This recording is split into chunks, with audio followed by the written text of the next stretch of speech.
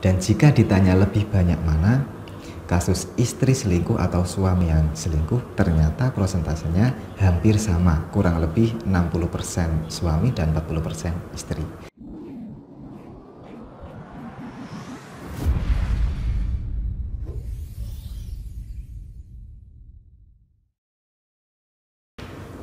Assalamualaikum warahmatullahi wabarakatuh. Salam sejahtera untuk kita semua. Terlebih dahulu saya ucapkan terima kasih kepada Anda semua penonton setiap video-video saya. Semoga apa yang saya sampaikan di setiap uh, video saya dapat memberikan uh, tambahan ilmu untuk Anda semua. Dan tidak lupa juga saya ucapkan selamat datang dan selamat bergabung bagi Anda yang baru pertama kali menonton video saya kali ini. Nah, di video kali ini saya akan membahas seputar asmara, yaitu tentang ciri-ciri pasangan yang berselingkuh. Nah, kenapa saya mengangkat tema ini?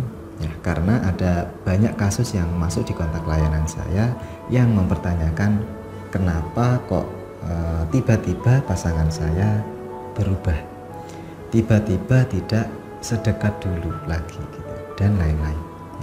Ada banyak sekali bahkan sampai ratusan kasus perselingkuhan yang saya tangani setiap bulannya. Baik itu yang selingkuh dari pihak istri maupun suami. Dan jika ditanya lebih banyak mana, kasus istri selingkuh atau suami yang selingkuh ternyata prosentasenya hampir sama, kurang lebih 60% suami dan 40% istri. Itu artinya yang namanya perselingkuhan tidak melulu dari suami ternyata istri juga bisa selingkuh. Karena yang namanya selingkuh tidak hanya karena niat ya tapi eh, adanya kesempatan juga menjadi faktor kenapa seseorang bisa eh, berselingkuh. Baik kita bahas terlebih dahulu apa saja ciri-ciri seseorang eh, berselingkuh.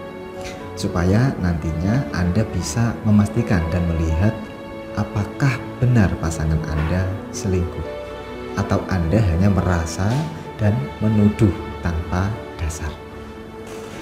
Ya, setidaknya ada lima ciri-ciri pasangan selingkuh yang bisa Anda jadikan sebagai eh, rambu-rambu uh, lah. Agar Anda lebih waspada apakah pasangan Anda berselingkuh atau tidak. Nah, yang pertama, uh, gugup ketika HP-nya Anda pegang. Anda wajib waspada ketika pasangan Anda tiba-tiba gugup atau e, panas dingin ketika handphonenya Anda pegang. Atau bahkan hanya sekedar tergeletak di meja dan Anda ada di situ. Jika itu terjadi pada pasangan Anda, maka Anda wajib waspada. Tapi jangan langsung menuduh. Ditanya saja kok sampai segitunya itu ada apa. Nah, kalau jawabannya seperti orang gugup dan seakan uh, ada yang ditutupi, maka besar kemungkinan ada suatu hal yang memang ditutupi dari Anda.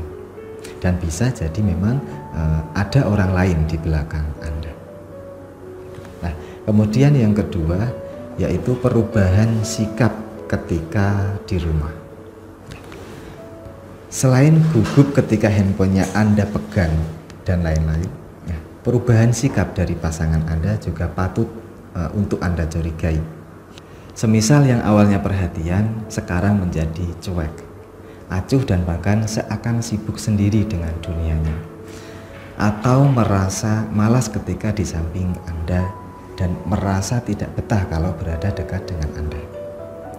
Bahkan emosi yang tidak stabil, sering marah-marah tanpa penyebab yang jelas, eh, juga wajib Anda waspadai karena jika itu terjadi ada kemungkinan pasangan Anda memiliki simpanan lain di belakang Anda.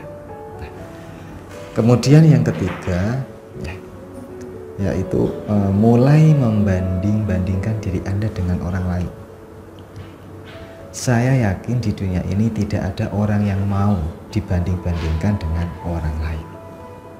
Apalagi membandingkan pasangan sendiri dengan orang lain. Nah, jika itu sampai terjadi, ada kemungkinan pasangan Anda mulai uh, ada rasa bosan dan jenuh dengan Anda. Dan ada kemungkinan pasangan Anda mulai ada niat buruk di belakang Anda yaitu selingkuh. Jadi eh, berwaspadalah. Nah, kemudian yang keempat sering pergi keluar rumah tanpa ada kegiatan yang jelas. Nah, yang keempat ini juga patut untuk Anda waspadai. Terlebih lagi bagi pasangan Anda yang sering keluar rumah tanpa ada tujuan yang jelas.